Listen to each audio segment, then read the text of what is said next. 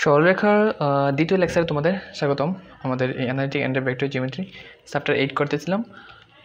সরলরেখা এটা আমাদের লেকচার টু আচ্ছা দেখো এখানে আমাদের প্রবলেমটা দেখাও যে ওয়ান টু থ্রি বিন্দুগামী এবং x minus y x minus y plus two z minus five equal zero equal three x plus y plus z minus six এই সরলরেখার সমান্তরাল সরলরেখার সমীকরণ, ঠিক আছে? এই যে তোমার সরলরেখাটা দেওয়া আছে, বলছে এটা সমান্তরাল সরলরেখা, এটা এটা দেখাইতে বলছে যে সরলরেখাটা তোমার কি? ওয়ান টু থ্রি বিন্দুগামী। ওকে, দেখো, যেহেতু নির্ণয় সরলরেখা আচ্ছা আমরা যেই সরলরেখাটা নির্ণয় করব, ওই সরলরেখাটা দেখো x minus y plus two z minus five equal zero equal three x plus y plus z minus six এই সরলরেখার কি? সমান্তরাল। যেহেতু নির্ণয় সরলরেখা আমাদের এই যে প্রদত্ত যে সরলরেখা, এই সরলরেখার সমান্তরাল। আমরা যেই সরলরেখাটা নির্ণয় করব, ওই সরলরেখাটা এই সরলরেখার বা এই সরলরেখার কি? সমান্তরাল। সেহেতু আমাদের যে নির্ণয় করব, নির্ণয় সরলরেখার দিক অনুপাত এক নং মানে এই সরলরেখার দিক অনুপাতের সমান বা সমানুপাতিক। কারণ আমাদের নির্ণয় সরলরেখা এই সরলরেখার কি? সমান্তরাল। ওরা বললেই দিছে সরলরেখার সমান্তরাল। তাহলে আমাদের এই যে সরলরেখা, এটার দিকানুপাত আর আমাদের যে সরলরেখাটা নির্ণয় করব, ওটার দিকানুপাত কি হবে? সমান হবে বা সমানুপাতিক হবে। অবশ্যই হবে, ঠিক আছে? আশা করি বুঝছ। তাহলে আমরা দেখো, আমাদের এক নং সরলরেখার দিকানুপাত কি? ঠিক আছে? তো এক নং সরলরেখার দিকানুপাত আমরা কি এক্সের সঙ্গে এখানে কত? ওয়ান ওয়াইয়ের শখ মাইনাস ওয়ান, তারপরে জেডের শখ টু। তাহলে আমরা আবার কি? ওয়ান মাইনাস ওয়ান লাগবো, ওয়ান মাইনাস ওয়ান, ঠিক আছে? এরপর দেখো, এখানে দেখো, three, one one. Three one one তা আবার আমরা কি লিখব? থ্রি আবার ওয়ান ঠিক আছে? তো এইভাবে আমরা অনুপাত বের করি, এটা আমাদের নিয়ম। এখান থেকে দেখো, এখান থেকে তুমি ক্যালকুলেশন করো। তাহলে আমরা এটা আমরা স্টপ রাখব এখানে। তো মাইনাস ওয়ান আর ওয়ান গুণ করলে মাইনাস ওয়ান আর এটা কি আবার মাইনাস দিয়ে? সূত্রের একটা মাইনাস ঠিক আছে? তাহলে দুই একে দুই বাট মাইনাস টু ওকে ও মাইনাসে মাইনাসে ফেলা যাবে সূত্রে একটা মাইনাস আর এই মাইনাসে প্লাস আচ্ছা এরপরে এবার টু দিয়ে থ্রি ঠিক আছে? তো তিন দুগুণে সিক্স মাইনাস এক একে এক।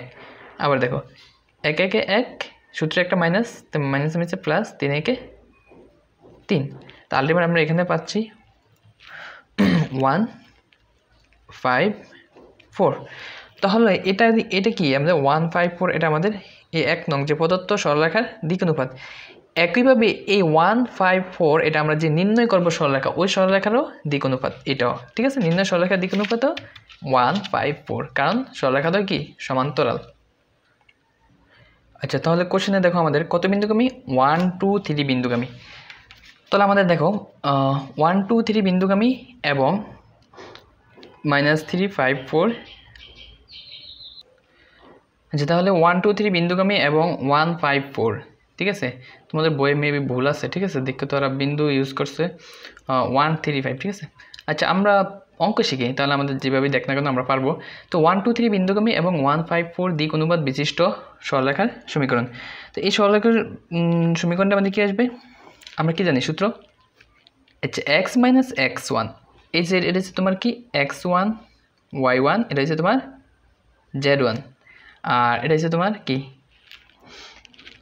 A one b one c one বা এবিসি ঠিক আছে? দিক এটা হচ্ছে তোমার, এই যে দিক হ্যাঁ? আর এটা হচ্ছে তোমার বিন্দুরা। তো এক্স মাইনাস এক্স ওয়ান তো কত? ওয়ান বাই তোমার কি? এ ওয়ান তো এ ওয়ান কত? ওয়ান ঠিক আছে?